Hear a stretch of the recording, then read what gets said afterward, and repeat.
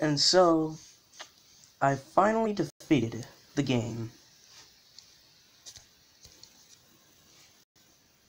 Everyone who has opposed me has now been destroyed.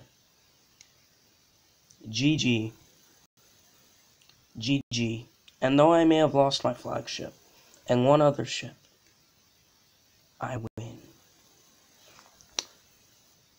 And so, you cannot win without risking all that you have.